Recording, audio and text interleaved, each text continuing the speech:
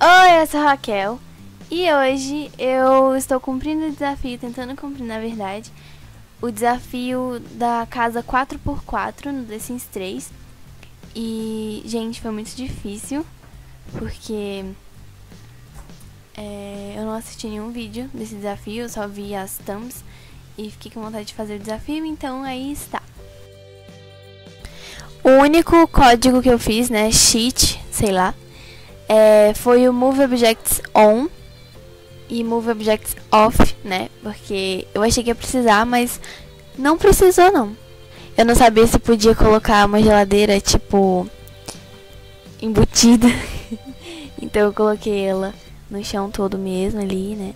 Eu testando ali o banheiro pra ver se deu certo. A pia não coube no banheiro. E que senão ela não ia conseguir entrar, né? Então eu coloquei lá no quarto. E agora eu tentando mudar as cores das coisas, das paredes, mas depois eu mudei de novo no final porque eu não gostei muito do resultado. Então essa parte vai ficar um pouco mais rápida. Aí, gente, eu lembrei que precisava de uma bancada, né? Então eu tive que tirar o fogão, porque senão não ia dar.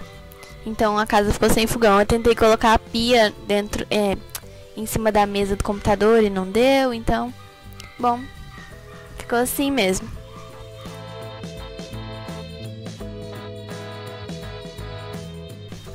E agora, gente, eu mudei as cores de tudo, deixei a casa é, mais fofinha.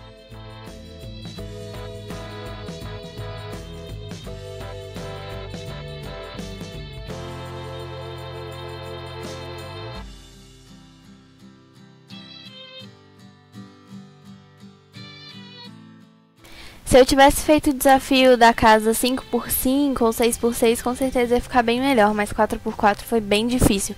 5x5 já ia dar pra fazer um banheiro com a pia lá dentro, talvez. E talvez daria pra ter também o fogão, né?